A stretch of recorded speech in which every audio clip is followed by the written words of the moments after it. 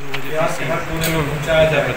सात रथ इस समय चल रहे हैं और पंद्रह तारीख तक में ये किसान यात्रा बिहार के हर कोने में पहुँच जाएगी और 18 तारीख को हमें लगता है कि विधानसभा के सामने मार्च है।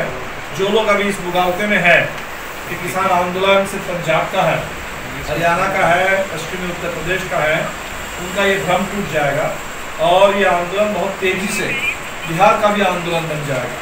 बिहार के गरीब किसानों का आंदोलन बन जाएगा बिहार के खेत मजदूरों का आंदोलन बन जाएगा क्योंकि सबसे ज़्यादा इस देश में जो एमएसपी का संकट है जो किसानों के साथ विश्वासघात होता है सबसे ज़्यादा बिहार के किसान झेलते हैं। पूरे देश में जो किसानों का मुद्दा है और जिस तरह से ये सरकार देश को बेचने का काम कर रही है मोदी जी कहते हैं कि सरकार का काम कारोबार करना नहीं है। लेकिन लगातार वो देश को बेच रहे हैं। स्ट्रेटेजिक जो एसेट्स हैं नेशनल एसेट्स हैं रेलवे बैंक से लेकर के बंदरगाह पोर्ट हर चीज़ को बेच दे रहे हैं। अभी जो रिपोर्ट आई कि डिफेंस मिनिस्ट्री डिफेंस के पास भी जो ज़मीन थी, उस ज़मीन को भी लगातार वो बेच रहे हैं। और उस ज़मीन को बेच करके भी जो पैसा है, उसका एक ही हिस्सा सिर्फ़ डिफेंस के काम में आएगा।